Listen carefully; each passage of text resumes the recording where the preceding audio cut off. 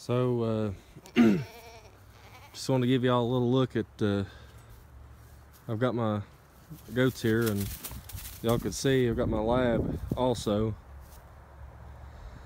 Trying to get uh, my lab and Great Pyrenees kind of used to each other. Uh,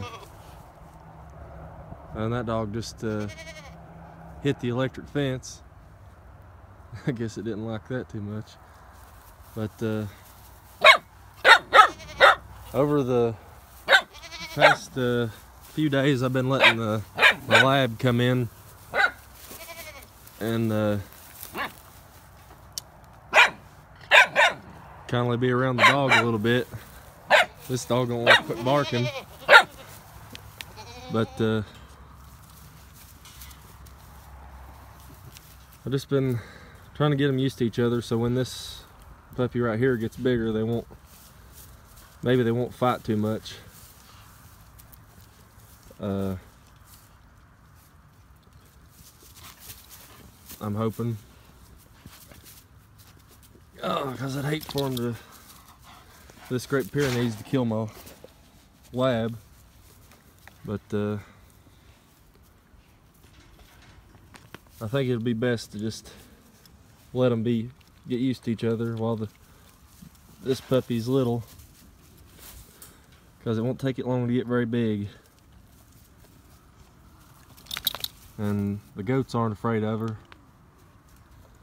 And uh, which which is good.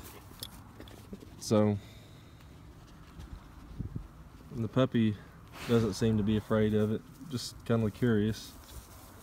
It started coming out of its pen out of the fence line here lately. And uh, I hope once it gets too big to fit through the holes, it won't try to get out. But it just comes and kind of sits around out front here and watches. But I'm just letting them kindly play through the fence right now. My lab, she's not not a real aggressive dog she's uh, hasn't really ever seen an enemy, but I've had dogs in the past with her that they want to fight and she wants to play. So I'm letting the puppy find out that my lab just likes to play now. So when they get bigger, there won't be intimidation there. They'll be friends by then, hopefully. Even though they won't see each other very much, but this dog will keep my house when she comes out. I don't want them to fight because she, she likes to run over here in, in the dark. But uh, that's about it. I just want to show you how I'm kind of letting them get used to each other. But uh,